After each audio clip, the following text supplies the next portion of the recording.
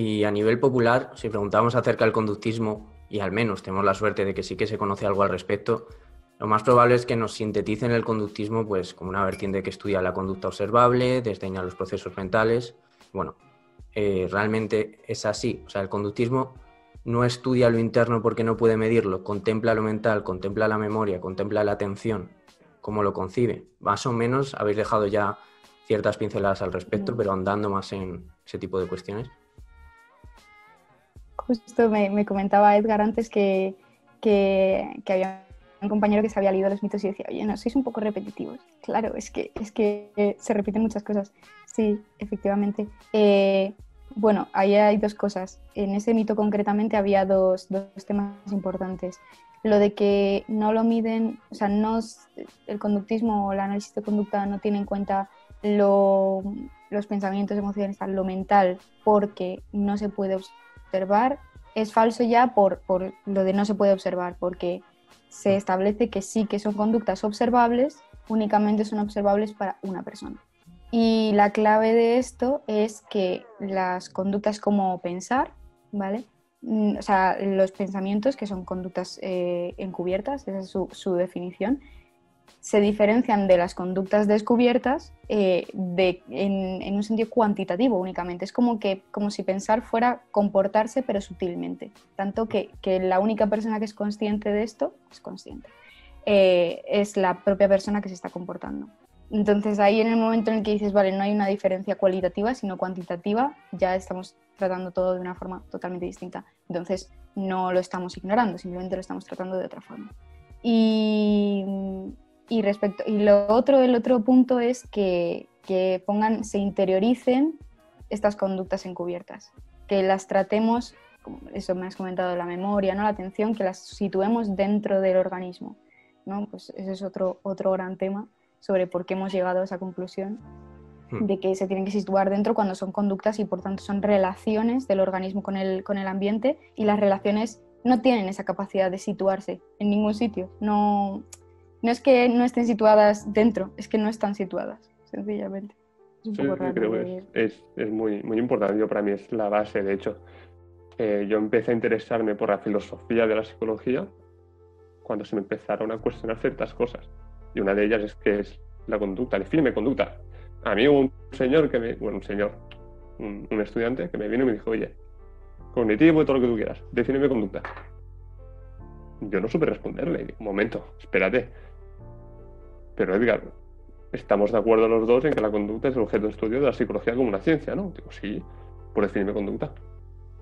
Y no supe contestar. Y fue cuando empezó todo. Con, esa pregunta fue cuando empezó todo. A partir de ahí, es importante entender que la conducta es una relación. ¿Qué significa eso? Eh, pues que no está. Hmm. No está, no, no puedes coger la conducta. Pero ojo, tampoco puedes coger levantar un brazo. Levantar un brazo es conducta. Cuando me estás metiendo eh, todo el contexto, sí. Si no, es una respuesta. Y este matiz es, muy importante para entender absolutamente todo. Porque si yo no necesito ver una conducta, entonces los pensamientos, el recordar, el percibir, el imaginar, entran dentro de la definición de conducta y tranquilamente y sin ningún y sin cazador, sin nada. Simplemente es una concepción diferente de lo que es conducta y de lo que es nuestro objeto de estudio. Esto me parece fundamental para entender absolutamente todos los mitos, pero todos. Si no se parte de esa misma premisa, no va a haber acuerdo. ¿Por qué no hay acuerdo con los cognitivistas? Porque su objeto de estudio son los procesos mentales hmm. y tienen una naturaleza diferente a la que tienen para un conductista el psicoanálisis tiene como objeto de estudio el inconsciente. Es que ya no es que sean paradigmas diferentes, es que son disciplinas con objetos de estudio diferentes. Por tanto, el acuerdo es difícil. Pero hay que entender esto. Tú puedes criticar el, conductismo, el análisis de conducta, debes criticarlo, pero entiéndelo. Yo creo que el objetivo del proyecto, al menos para nosotros, es más que enseñar qué es, enseñar que no es. Hmm. Y como decir, se puede criticar, pero vamos a hacerlo bien y no seamos eh, burdos, no seamos ignorantes y soltemos críticas mm, que llevan contestadas desde hace décadas. Creo ese matiz es, muy importante y, perdón ahora el, tostón, pero no, no, Me, parece importante porque no hemos definido conducta en ningún momento hasta ahora y ahora como vamos a, a partir de ahí. ¿Y las medusas tienen conducta? porque ahí es... No, no, no.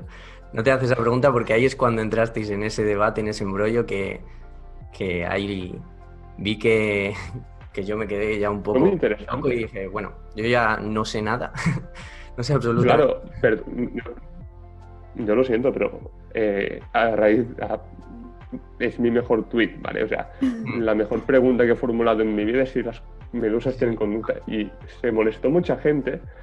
El objetivo de eso, eso no, evidentemente no lo puse porque habría quedado todo, que no habría salido todo el debate que salió, ¿no?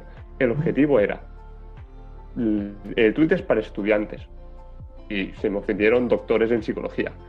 El tweet era para estudiantes. Estudiantes que dicen la conducta está en el cerebro. Vale, ok. Las medusas no tienen conducta. Las medusas son, son organismos. Sabemos que los organismos tienen conducta. ¿Cómo diablos tienen conducta si no tienen cerebro? Luego se empezó con, bueno, es que Edgar, más que cerebro es el sistema nervioso. Luego un, un eh, un tuitero, no recuerdo quién, soy horrible, eh, planteó estudios de organismos que se condicionaban sin necesidad de un sistema nervioso. Entonces realmente fue, de ahí se desplegó un, hilo, la verdad genial, pero tenía como todo objetivo eso, vamos a cuestionarnos la definición de conducta. Y a partir de ahí es cuando podemos empezar a hablar. Sí que vi que se montó un revuelo terrible y hubo mucha ofensa, pero vamos, entendí que la finalidad no era esa, sino el cuestionamiento. Claro.